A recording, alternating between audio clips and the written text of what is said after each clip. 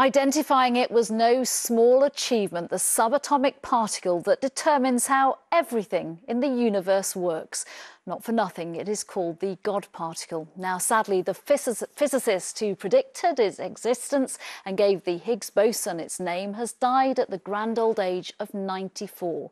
Professor Peter Higgs of Edinburgh University made his prediction back in 1964. It took successive generations of scientists nearly 50 years to confirm his theory in practice. A giant of British science whose humble nature often made him uncomfortable with the attention his work brought. But his brilliance and decades of dedication uncovered the particle which binds the universe together, aptly named the Higgs boson. For me, it's really an incredible thing that it's happened in my lifetime. Born in Newcastle, much of Peter Higgs's life was spent in Edinburgh, working at the university from 1960 until his retirement in 1996. His theory was finally proven in 2012 thanks to the Large Hadron Collider in Switzerland, where particles were accelerated to almost the speed of light. A year later, Higgs was awarded the Nobel Prize for Physics alongside Francois Englert of Belgium Professor Peter Higgs at University of Edinburgh. At the time, he explained hearing of the news from a neighbour. Congratulated me on the uh, news, and I said, "What news?" and uh, so she told me that her daughter had phoned from London to alert her to the fact that uh, I, I had got this prize. The University of Edinburgh confirmed Peter's passing at the age of 94.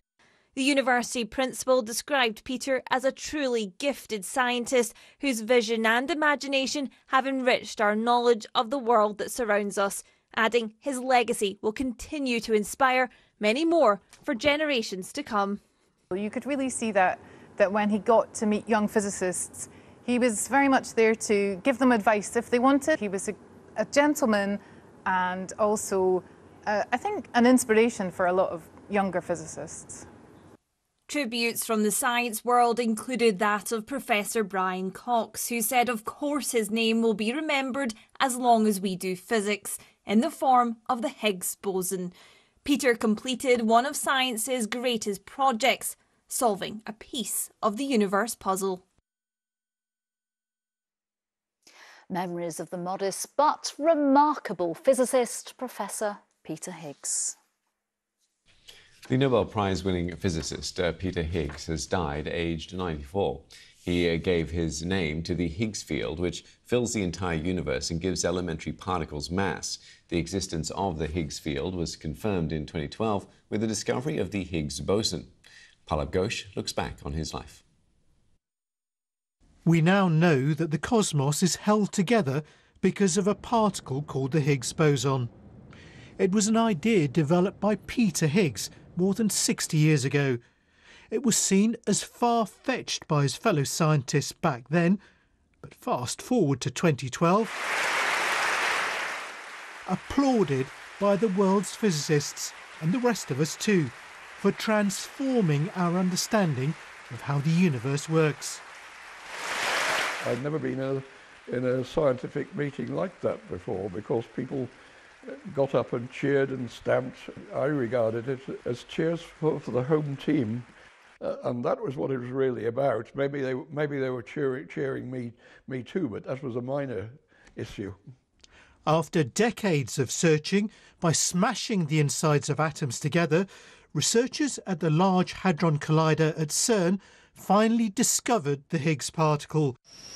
And today, leading scientists who worked at CERN sent their tributes to the man as well as his research.